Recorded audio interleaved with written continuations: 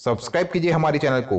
Subscribe करने के लिए लाल सब्सक्राइब बटन को दबाइए और उसे दबाने के बाद बेल आइकन के बटन को दबाइए ताकि आने वाले नए वीडियोस के अपडेट्स आपको रेगुलरली मिलती रहे। नमस्कार, माँ स्कंद माता, जो कार्तिकेय जी की भी माता है, या उन्हें कार्तिकेय जी को उन्होंने ही पाला है। दोस्तों, अगर इस दिन आप माता स्कंद की पूजा करते हैं तो संतान की प्राप्ति, आपके जीवन में धन, सुख, ऐश्वर्य की प्राप्ति बहुत ही आसानी से हो जाती है।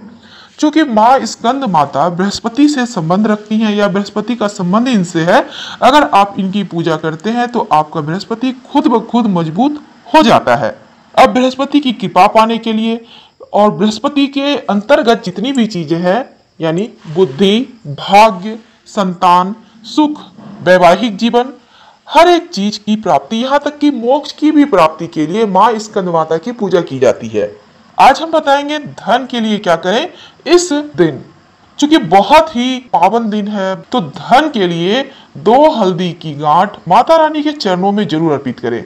और अगले दिन इस हल्दी की गांठ को उठाकर अपने धन वाले स्थान पर रख लें। और अगले साल, पूरे साल भर वहीं पर पड़े रहने दें। अगले साल इस हल्दी की गांठ को बहते हुए जल में प्रवाहित कर दें या फिर पीपल के वृक्ष के नीचे रखाएँ और नई हल्दी की गांठ स्थापित करें।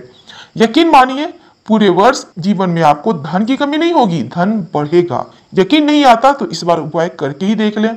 इस दिन अगर एक चुटकी पानी में हल्दी डालकर आप नहाते हैं उस पानी से तो आपका देवगुरु बृहस्पति मज़बूत हो जाता है और जीवन में जो भी परेशानी है वो दूर होती है। खासकर अगर आपका विवाह नहीं हो पा रहा है तो ऐसे में सात चुटकी हल्दी पानी में डालकर नहाएँ।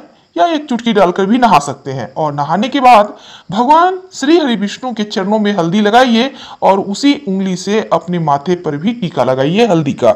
आपका भाग्य भी मज़बूत होगा और आपका बृहस्पति भी मज़बूत होगा।